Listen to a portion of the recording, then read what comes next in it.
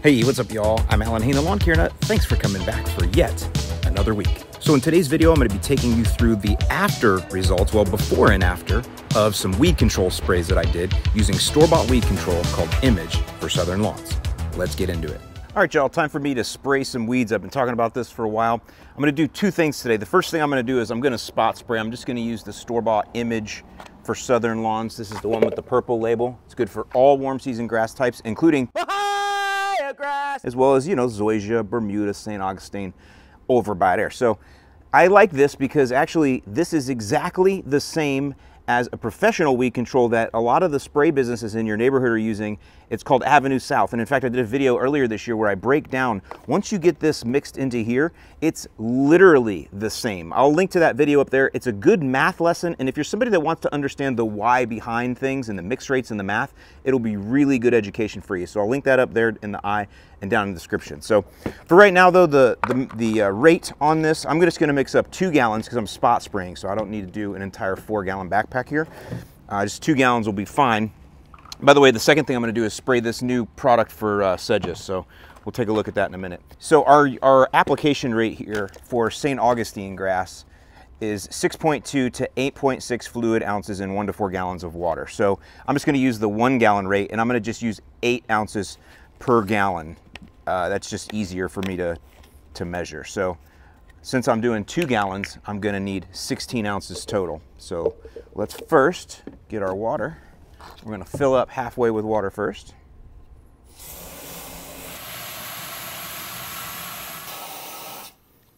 So I've got one gallon of water in here, because remember, I'm only doing a two gallon fill.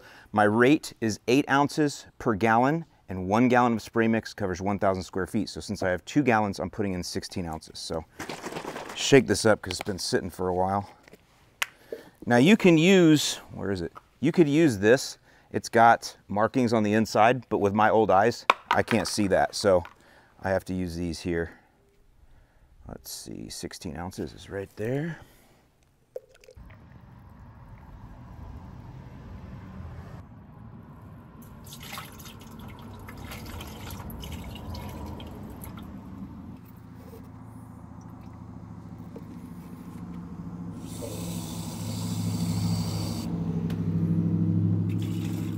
Okay, now I'm gonna fill up the rest of the way to the two gallon mark. There we go. You don't need any surfactant with this. Typically when you buy store-bought stuff, if it needs a surfactant, it will be built in. So that's it, you just put it in there, put your tap on, and agitate well.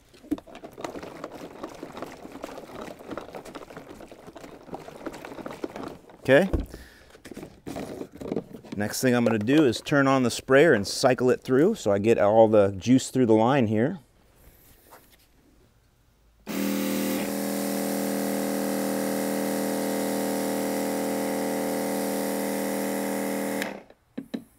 Okay, now we're good to go. Now I'm using the red fan tip and this is going to create a finer mist. I'll show you out there when we're spraying weeds, we want a little bit finer mist or a smaller droplet size because we really want this weed control to stick to the weeds so it can absorb in. It's systemic that way. So that's why I use the finer mist tip here. Let's go spray and pray. All right, so here we go. Right there. That's dayflower. A lot of you guys are dealing with this right now. This definitely takes a couple applications to get it to get it gone. There's more here. You can know dayflower because of those, because of the way the leaves look here. But also you'll find these little purple flowers too. So the thing about dayflower is it it will outcompete the St. Augustine grass, especially here where my St. Augustine is so weak. I mean, my lawn is just torn up, right? You guys remember last week's episode? Stuff's tore up everywhere here. So anyway, see, I'm going just slow enough to get a good coating on the weeds. Here's another, look at that big old patch. What I was saying is it will outcompete your St. Augustine grass and there will be a huge bare spot here when it dies, which is why it tends to come back because it drops seeds. And even though you kill it, there's a bare patch there when it's gone.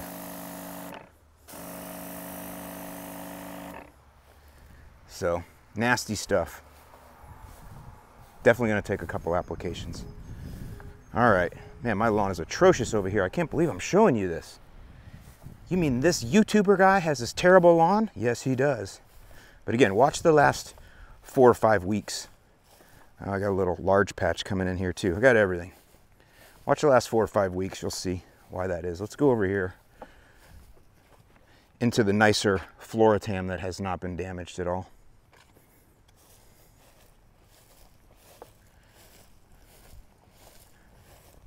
Again, that's from that. I just haven't mowed since then.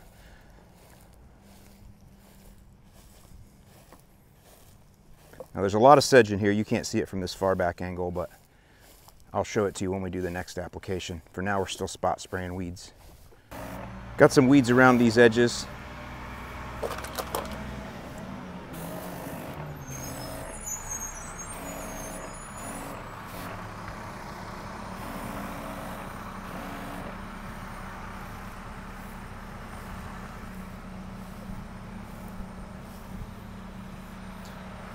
Can see I've been weed whacking way too close.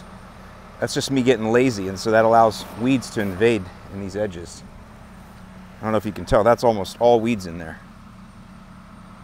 Some doveweed in here. This is all, now the cold is slowing it way down, but I need to be a little bit more careful with my weed whacking.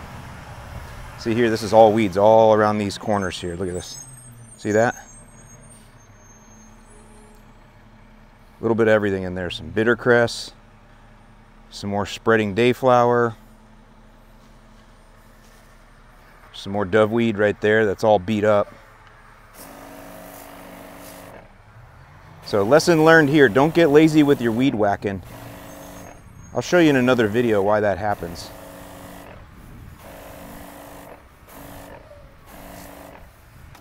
Yeah, it's all these edges. This here, this is artillery fern. I don't know if this is this uh, weed control will kill this. We're gonna see. You can see I had you can see I had a whole bunch in there.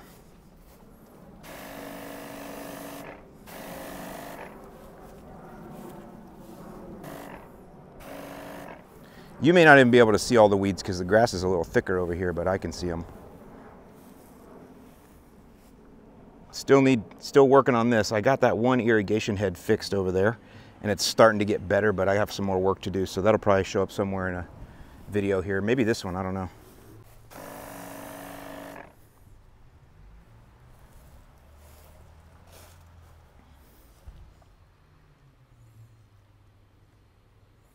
There's weeds all in here. See again, along the edges where I weed whack too close. What happens is I like to weed whack and I do it too fast because I get into a rhythm and I cut way too close.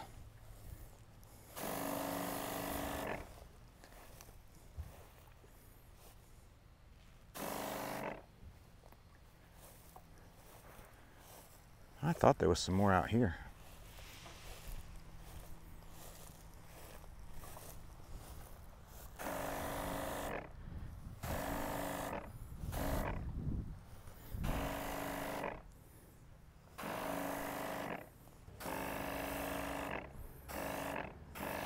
All right, now down here, this uh, parkway is not irrigated and I don't know if I'm gonna ever be able to put irrigation in here because I don't feel like digging under the sidewalk, but it's loaded with spurge.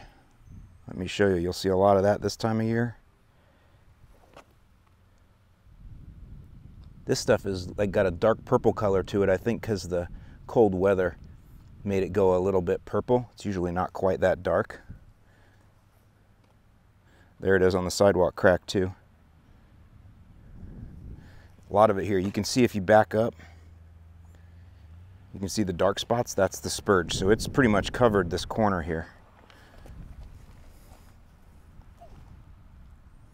There's garden spurge and spotted spurge. This is garden spurge, but they both look very, very similar.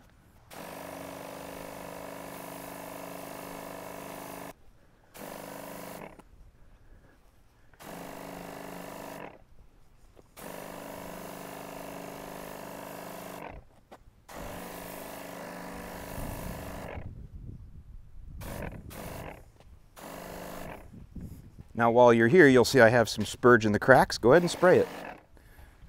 This works just fine. All right, let's go over to the zoysia. Also suffering because I sprayed over here to kill Bermuda, and so that brown you see is dead Bermuda. But there's some weeds here, again, around the edges.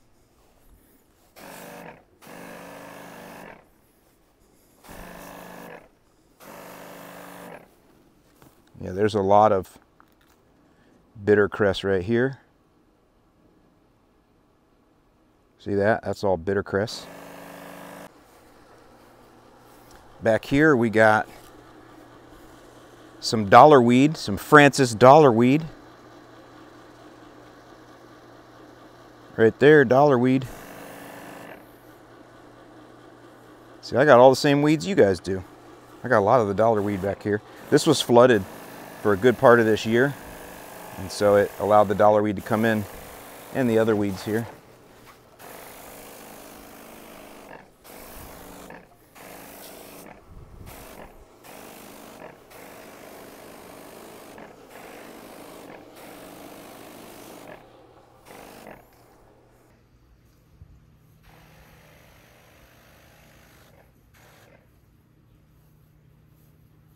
Okay, here we are. This is a palm right here. And what you're seeing here, I'll just ID this for you. Well, that's, that's common Bermuda grass right there. Look at that. This is oxalis right here, or called wood sorrel. And the weed control that I'm using will kill it very easily. However, I don't spray that image for southern image for southern lawns. I don't spray that around trees or shrubs. The reason why is I don't know how far into the soil it's gonna get because the roots of this tree are just right underneath here. That's why this is all popping up. There's roots under there. And some weed controls will get down and hit the roots. I would use Roundup here though because Roundup doesn't translocate. Roundup pretty much stays where it is and as soon as it hits any amount of soil, it binds with that soil and it won't go down into the roots. So if you're gonna use the image for southern lawns, you can use it for crack and crevice in your driveway, but I wouldn't spray it around trees and shrubs. Again, just because I don't know the volatility. Also, here's uh, another one of those artillery ferns, which Roundup or glyphosate Glyphosate will not kill this. And by the way, when I say Roundup, I mean glyphosate. There's a lot of formulations of Roundup. I'll link to a video up there that talks about that. But glyphosate will not kill this artillery fern, so I mostly hand pick it. But we got a lot of wood sorrel up in there. So lots of weed ID for you guys today. Now, another weed control I used is a new one, and it's from PBI Gordon, and it's designed to kill Kyllinga, which is what we mostly face here in Florida, but pretty much all sedges. All right, so reading the label here, we can see that our application rate is 1.2 to 1.7 ounces per thousand square feet, and you can reapply after 30 days. So we'll just go with the max rate of 1.7 ounces per thousand. I'm gonna do three gallons because I have about 3,000 square feet that I'm gonna spray that's just riddled with sedges. So three times one is three, plus, I gotta do, I gotta use my calculator for this, 1.7 times three. Okay, Google, what is 1.7 times three?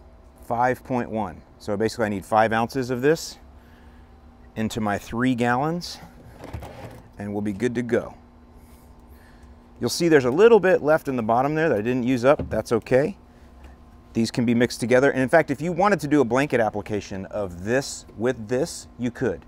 You could mix these two together I just didn't do that because I don't need to blanket spray the entire lawn. But the area that I am going to blanket spray has is where the uh, Floratam is, and I've got I've got sedge kyllinga throughout. So five ounces into three gallons of water, and then we can blanket spray. So I'm going to fill the sprayer halfway with water first. So in this case, since we're doing a three gallon fill, I'm going to put in a gallon and a half in the bottom. And there is, again, some of this image left in the bottom, like just a small amount. That won't hurt anything. It's safe for the lawn to spot spray. It's going to be safe in this blanket spray. So that's part of what we call rinsate management. Actually, if you want some more information on that, I just did a video on how to clean and winterize your yard mastery sprayer, which you could use that information for any sprayer. But I talk a little bit about rinsate. If you want to know what rinsate is, it's something that professionals have to deal with on a much larger scale than we do. But as far as I'm dealing with rinsate, I just make sure that whatever's left in the bottom each time I just fill on top of it for the next application and since it was safe for the lawn at the previous application, it's safe for the lawn in this application. So anyway, don't mean to confuse you, but it is what it is. Terrible.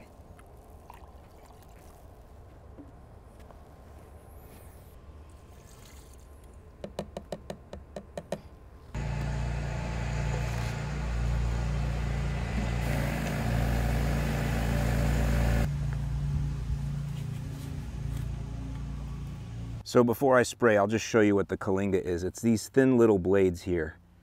That's Kyllinga. The reason it's so tough to, to control is because my Saint, your, it, the reason it's so tough to control is because St. Augustine in general is so thick. And so it's just hard to coat those little tiny leaves there or blades or whatever those are, stalks. You know, now you'll know too, you'll see these little star seeds on top. Now I, I haven't cut in over a week. It's just this grass isn't growing. So normally you'd see more of those little seed stalks. But if you can look through there, all those little thin wispy blades, those are all Kyllinga. and it's all throughout here. Most of you that have it don't even know. You just think it's grass because it, when it gets really thick, it kind of looks like grass. But anyway, we're going to give this a shot.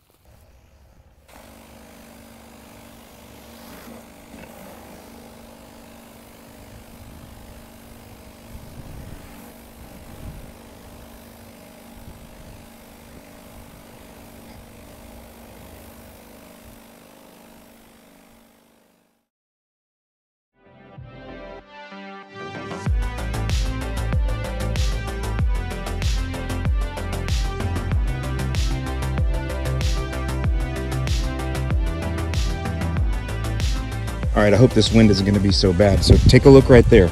That used to be a giant patch of dayflower. And now it's completely dead and zorched. That's what's left. So this image for Southern Lawns does a really good job on the dayflower. But you can see now it's a big thin spot in here because like I mentioned, it will outcompete the St. Augustine. It literally chokes it out. So, but I got really good control on it this time. However, if you look down in here, see how there's a little green still there? That means it's gonna regrow. It's probably dropped a bunch of seeds too, but it's just such a thick weed. It's really tough to kill. And like I said, it leaves these bare spots. So there's another patch right here. Look at that one.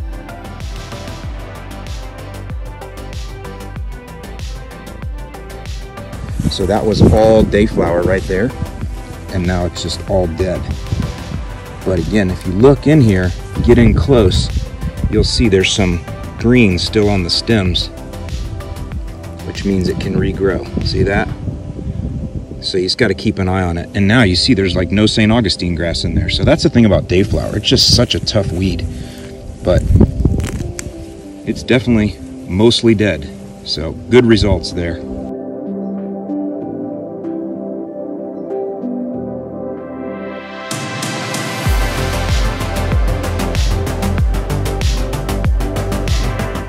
This here was some alligator weed. I actually took pictures of this.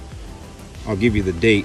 So I had uh, like an interim shot a few days after the app, but it did a really good job on that. I've heard people say this is really tough to get rid of, but it was a pretty decent little patch of it crawling in this thin spot, and it's mostly completely dead. Little green though, see that?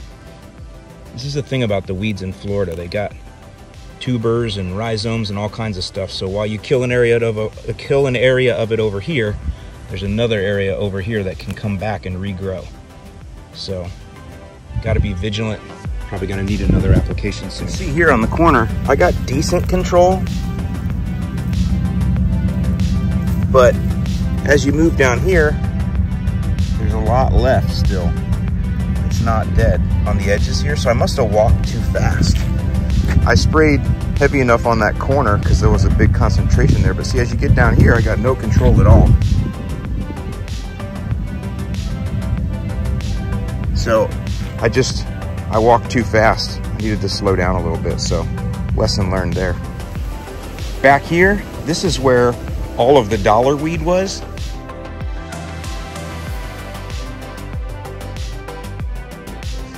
And it's almost completely gone. It was really heavy in through here, all in through here, and I don't see very much at all. So it did a really good job on that. A little bit here, a little bit left.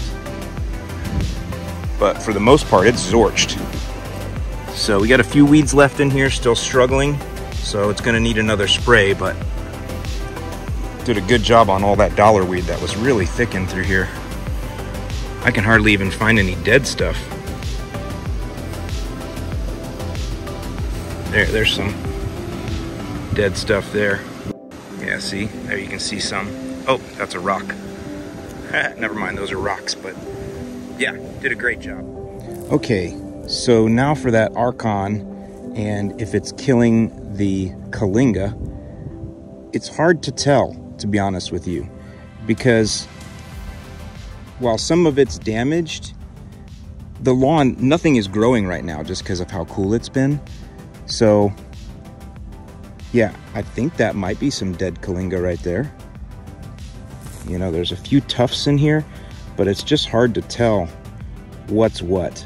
So I think what I'm gonna have to do, I know what I'm gonna have to do, is I'll have to do some further testing on it when we get more into next year. See, here's here's some here. Yeah, I don't know. I'll have to do more testing next year and find a really thick patch of it and isolate it and spray it that way. Because the Kyllinga looks so much like grass, it's just hard to tell. And, and a lot of my grass right now is kind of going yellow from the cold and things. So I'm sorry that this wasn't the best test. This time of year is obviously not the best time to do weed control testing. So uh, stay tuned to the spring for a little bit more on that. All right, y'all, so that's everything I got for you. It's super gloomy here. We're finally getting some rain. We're in a drought here on the West Coast, so we really need this. But again, probably not the best time of year for me to show you a video on weed control. It's a great time of year to kill the weeds, but not the best time to uh, show it to you on video here. So just know, Image for Southern Lawns. It's an incredible weed control available over the counter, something you can use, eight ounces per gallon, 1,000 square foot of coverage or spot spray.